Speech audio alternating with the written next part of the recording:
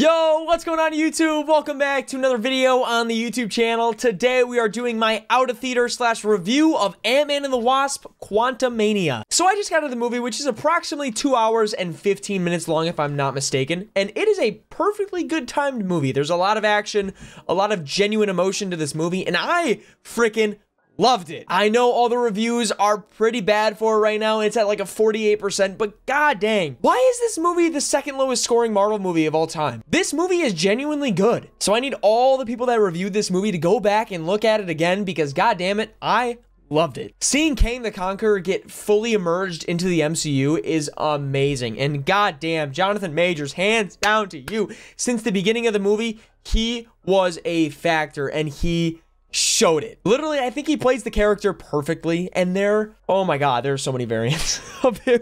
like, I just watched this movie and I already want to go back. Like, genuinely, I really enjoyed this film. So looking at the ratings of it, it is an 86% audience rating right now and a 48% Rotten Tomato score, which is saying something. The audience is liking it, and, and I'm digging it. Seeing Scott Lang and his relationship with his daughter Cassie is beautiful. Like, they are the perfect father and daughter. Like it it's amazing. Seriously, from start to finish of this movie, I was jumping up and down and I was off my seat. I was like, "Oh my god, like what's going on?" The action was awesome, the graphics were amazing, the music was perfect, and Kang was perfect and Kang is here to stay. Seriously, I loved it. It was great. It was fun. It was exciting and I want more Kang. I will say this is not the most in-depth reaction. I have a ton of videos I have to record right now, so I'm not going to go super, super, super, super in-depth with it. But let's just say the post-credit scenes, there are two post-credit scenes, by the way.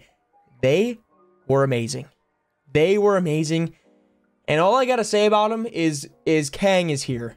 Kang is here. Also, you see someone you're pretty familiar with. So that was pretty exciting. I can't say anything else. I'm not going to spoil it for you guys. This is a non-spoiler review. I just wanted to come and update you guys my out of theater reaction at my home.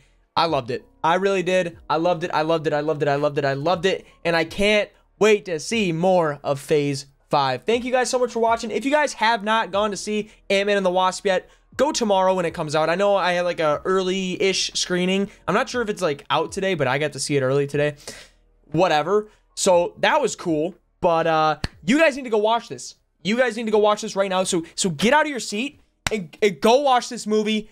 Don't just literally leave the phone right here. Leave it on.